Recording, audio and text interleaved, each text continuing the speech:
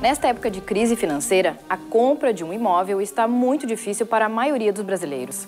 Mas os números de uma pesquisa de mercado que indicam uma queda nos preços dos aluguéis podem renovar as esperanças de quem está procurando um novo lugar para morar.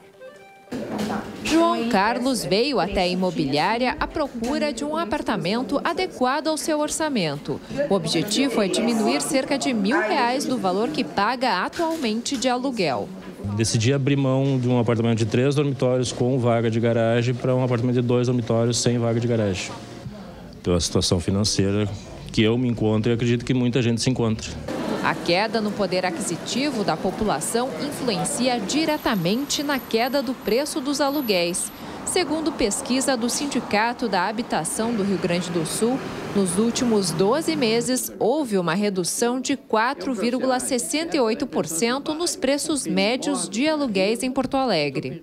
Nós temos muitos desempregados, a renda das pessoas diminuiu, e, a, e o nível de negócios em geral também reduziu. E isso tudo afeta todos os negócios, inclusive a locação. A grande oferta de imóveis é também responsável pela queda nos preços. Com o boom imobiliário que ocorreu até 2015, muitos investidores adquiriram imóveis para alugar ou revender mas a demanda para locação continua a mesma. Na hora de definir um valor, o proprietário precisa levar em consideração a concorrência e os requisitos impostos pelas imobiliárias. Hoje, por exemplo, o locador que tem um imóvel sendo administrado por uma imobiliária, a imobiliária ela tem uma série de requisitos que devem ser preenchidos pelo futuro locatário.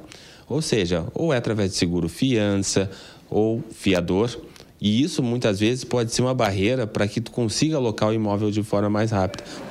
Para o locatário, a hora é de negociar. Além disso, é possível optar pelo melhor imóvel entre os disponíveis no mercado.